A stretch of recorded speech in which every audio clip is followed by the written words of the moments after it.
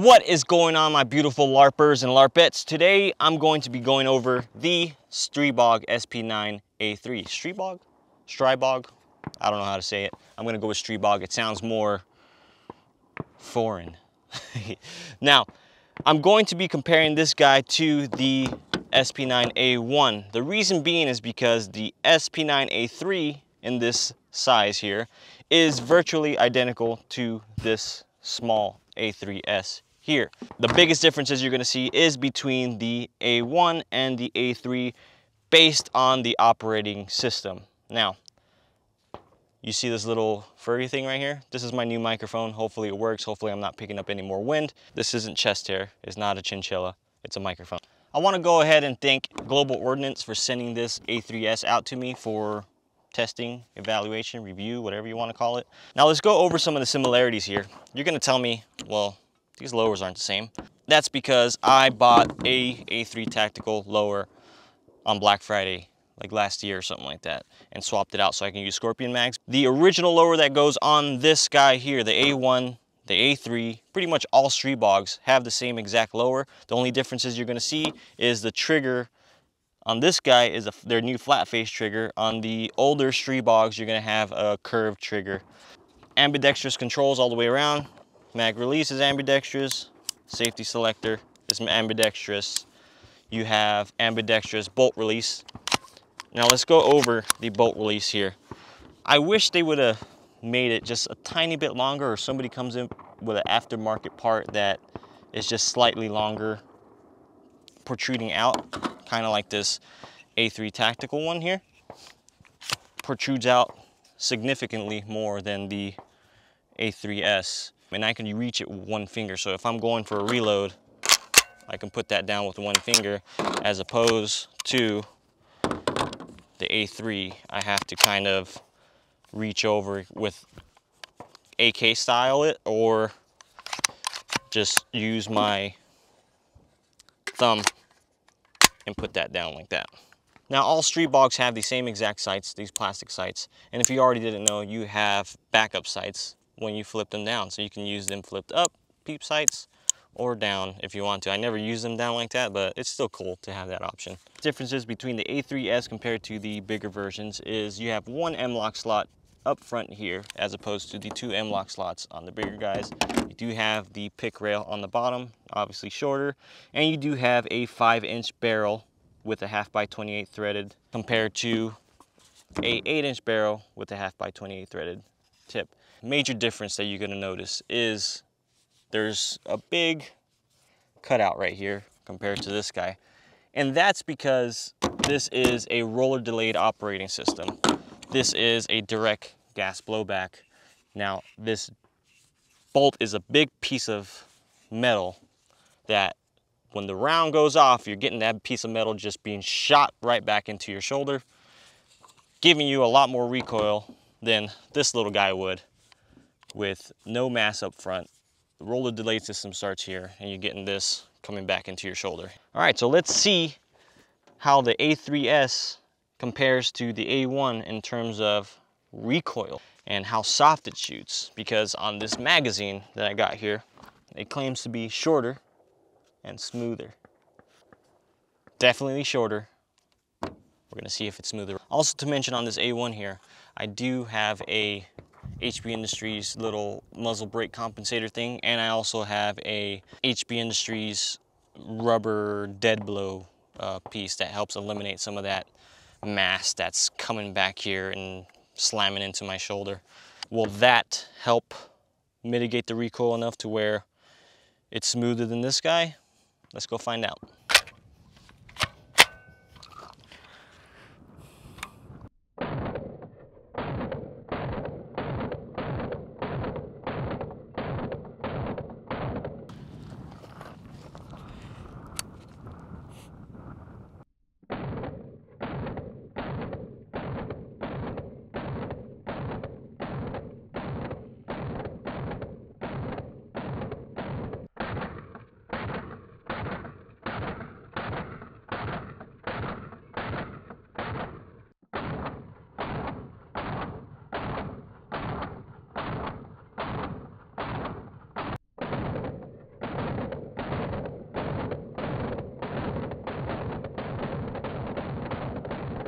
Let's shoot these on some steel, some dummies, run through them that way. Stribog A3S, I got a mag with about 20-ish rounds in it. This is their new curved mag. And uh, just to point something out to you guys, this barrel is really small, so you gotta be really careful on not trying to flag your finger or anything like that. The cool thing, you can change this uh, charging handle to the other side, but what I like to do is um, use that as an indexing point to keep my hand in a certain place when I am firing. So right when I bring my hand up, I feel that and I'm like, okay, I shouldn't go anywhere past this guy here. That's why I keep it on the left side. You guys can do what you want, but just maybe a little tip for you guys if you guys get this short little barrel here. So let me shoot this uh, dueling tree.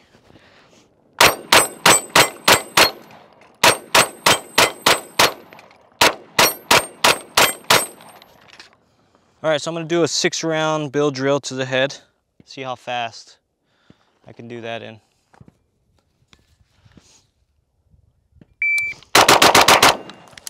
I feel like I missed one, but that was a 122. Alrighty, so I'm gonna do the good old Travis Haley 22422 drill.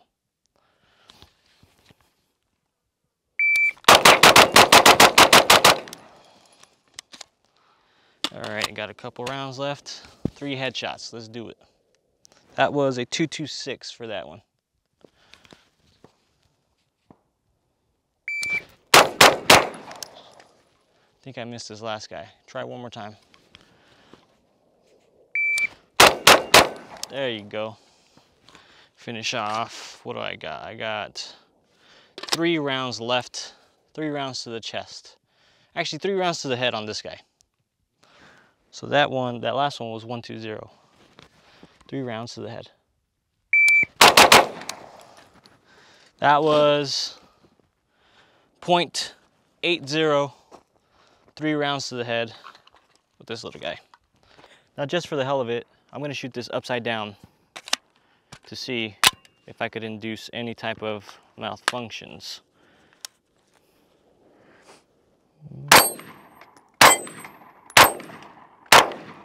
Hit that one on accident.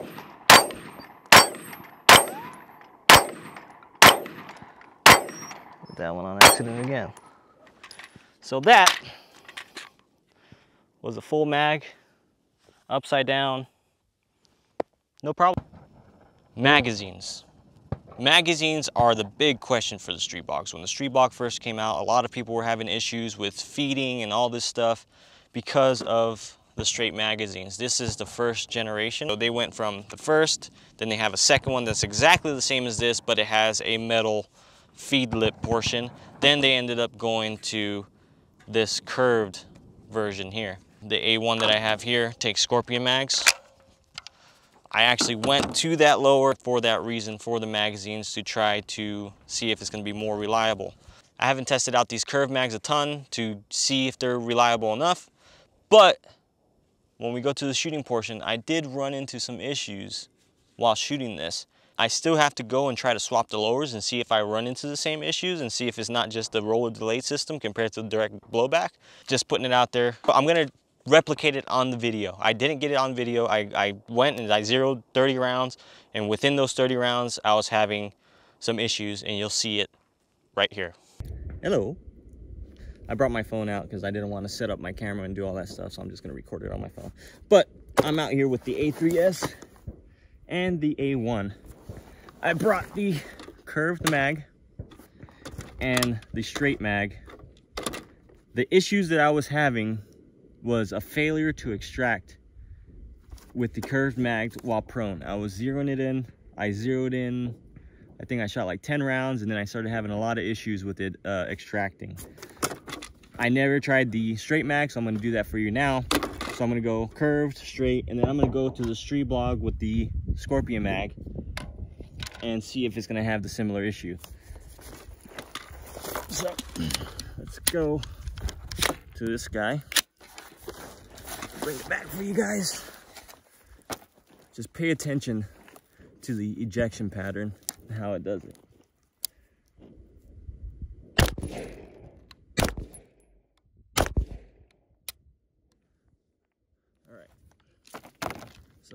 Malfunction.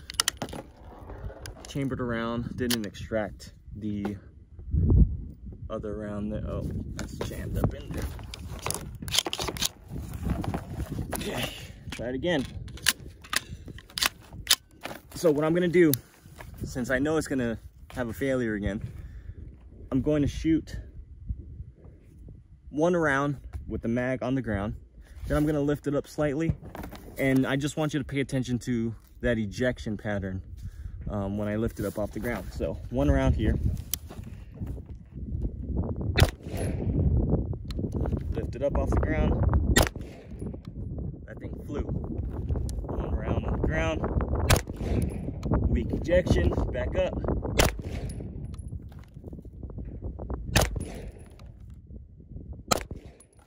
So that's telling me something's going on with that mag and how it's pushing up against uh, the bolt here. It's creating a lot of drag on top of the rounds, making it a, a, weak extraction. Let me just go ahead and try the straight mag, the Gen 1 mag that are notoriously problematic and see if it does it the same way.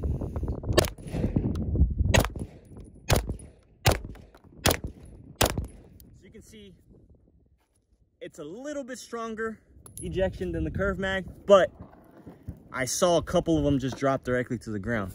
So I'm guessing this is gonna have the same problem as these mags here.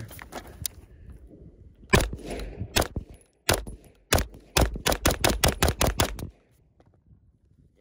had it there.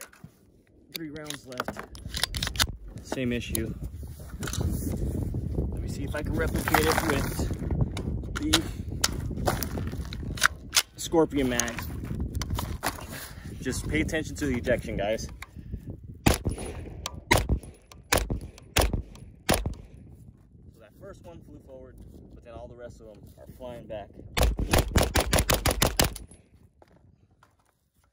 Actually, those got kind of weak towards the end, huh?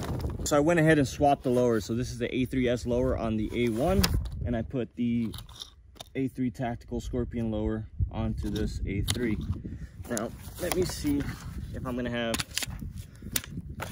similar malfunctions. And just get rid of all that skepticism that there might be if it's the roller delayed or the get direct blowback.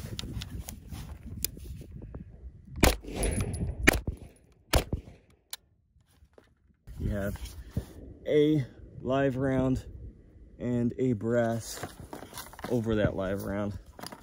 It's jammed in there good. I'm gonna have to take that out with a screwdriver or something. Let me put that to the side. There is a live round there. Keep that in mind. And go directly to the Scorpion, the A3. Just keep an eye on that ejection pattern, like always.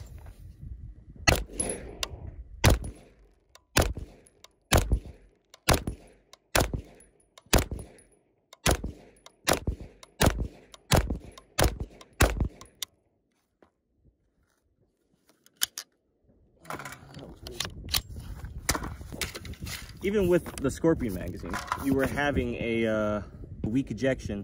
Then I could see some of them with the strong ejection. So I don't know, maybe the Stribog has problems when you're going prone and laying the magazines on the ground because I feel like even with the, uh, like right now, I still have one round left and that bolt didn't fully seat it. It actually seated on top of that round with the Scorpion mag. So maybe while prone, you just can't rest the mag on the ground.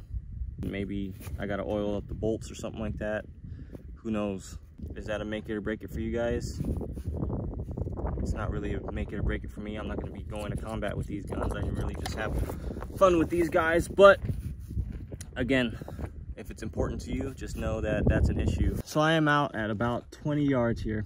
We're gonna see what kind of accuracy we're getting out of this little five inch barrel. I'm gonna put my hand right underneath this magazine here to help relieve some of that pressure on the bolt and see if that helps out with the extraction. That there. So, have a camera down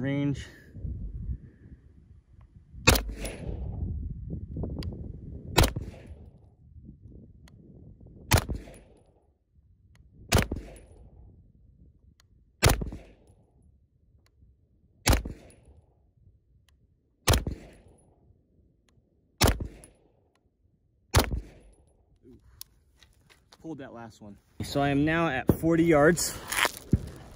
I'm going to see what kind of accuracy I'm getting from here. I know that I was shooting a tiny bit high and right from my point of aim. If I'm aiming at that orange circle there, I'm pretty sure I'm gonna be a little bit high and right on the actual target itself. Also, I wasn't paying attention if that worked a ton in terms of ejection. So you guys let me know how much farther it's ejecting when I'm relieving some of that pressure off the magazine.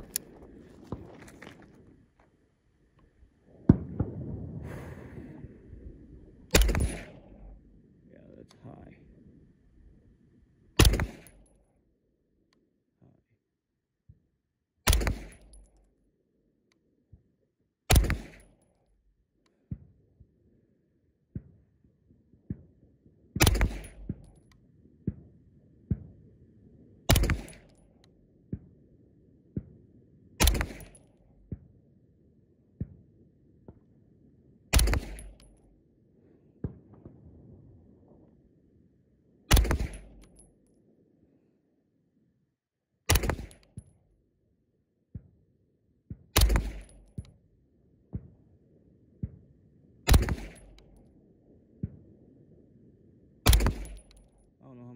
put in here, but I'm gonna finish the mag now.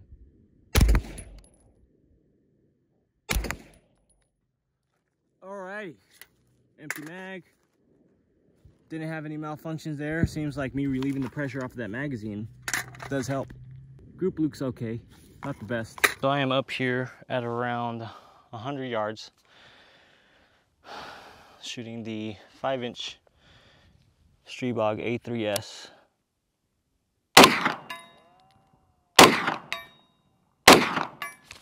So that is a BC zone steel. So it's a decent size. It's not too huge, but super easy with the five inch barrel.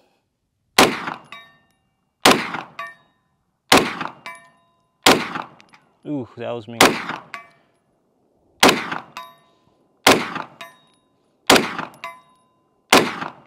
That was me again. Empty mag. So as you can see, five inches at 100 yards, super easy. I lost that little furball thing on my mic, so hopefully the wind doesn't bother it too much. The A3S, what do I think about it? I like it a lot more than the A1, just because of that roller delay system. I like a really short package. I love tiny little guns. I love putting them in backpacks and um, boxes and all this funny, cool stuff that I can show you guys. And I like how smooth it shoots for as small as it is. Even though this one here is smaller than the A1 here, you can definitely feel that this is smoother, uh, softer shooting than the A1. This is a little bit more violent, even with the upgraded uh, buffer system thing that I put in there and that little compensator.